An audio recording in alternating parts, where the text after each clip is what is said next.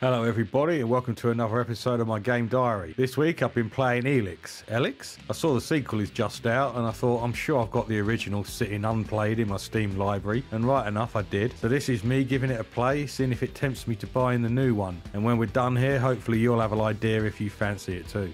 Straight away, I'm getting Skyrim vibes from the look of the first bunch of characters I come into contact with. They've got Skyrim looking armour, Skyrim looking weapons, and have Skyrim sounding names like Ragnar and Angrim. They are the Berserkers, a faction of militant tree huggers who forsworn technology in favour of swords, axes, bows, and magic.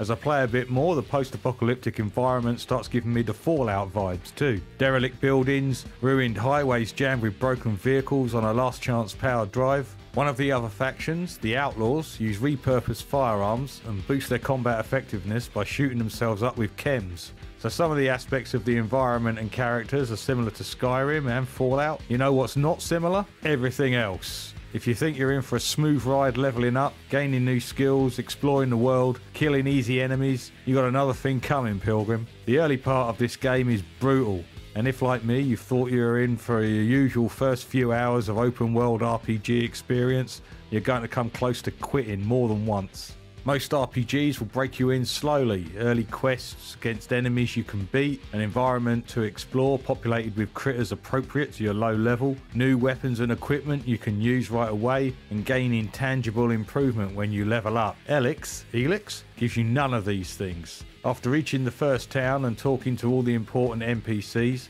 you fill your log up with what you think are low level quests, except they aren't. They will pit you up against enemies you simply cannot kill, who will kill you in one or two hits. The environment you travel through to get to these quests will have monsters that do the same. You won't be able to use any of the equipment you find, you won't be able to afford to buy or meet the stat requirements for any of the new skills available from leveling up. The game shows you all this stuff and then says, nope, you can't have any of it.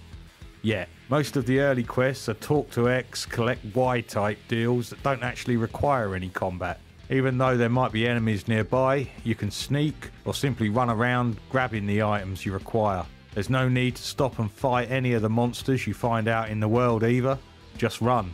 The amount of XP and loot you gain from a kill is so tiny, the risk reward just doesn't incentivize combat. You can gain several levels from the early quests without any fighting, and once you recruit your first companion, a bit more combat becomes viable, but there will still be some quests you get at this stage of the game you won't be able to do until much later. So the first 8 hours of my game were just talking, running, and dying over and over. They put a lot of work into the lore and narratives. There's plenty of dialogue to listen to, but it's not the most fun I've ever had with the beginning of a game. Eventually, you start accumulating enough money and stat points to be able to learn new skills. Realizing that the stat points you increase every level don't do anything themselves to make you more powerful, but are actually the way you unlock the skills you wish to develop is like another penny dropping in working out how this game is designed to be played. In fact, the whole experience of playing Elex, Elix so far has been like a series of pennies dropping, realizations that my initial methods and assumptions were wrong.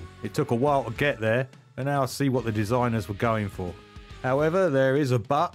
In fact, there's a few buts. It's got to be said that there are things that make this game a bit of a chore to play that have nothing to do with you not realizing you're playing it wrong. These can be summed up in three words slow, clumsy, and awkward. Most aspects of the game, from the pacing to the animations, from the UI to the combat, can be described as one, two, or all three of these. Nothing about the game feels smooth. There's a lack of polish that, for all their faults, isn't missing from Skyrim or Fallout. I think I was just getting to the point where I was into the rest of the game enough to live with these quirks, but it could be a deal breaker for many of you. If you can get past the first 8 hours and overlook the clunkiness, Elix, Elix has a fair bit to offer, but those are two pretty high barriers and I question the wisdom of putting obstacles like that in front of a new player. If you decide to go into it after watching this video, at least you'll be going in with the right mindset, or you've decided not to go into it at all. To the question of whether this tempts me to buy the sequel, I'm interested but cautious. I'm definitely not going to blind buy it. I want to see some well done breakdowns on what's changed, what stayed the same,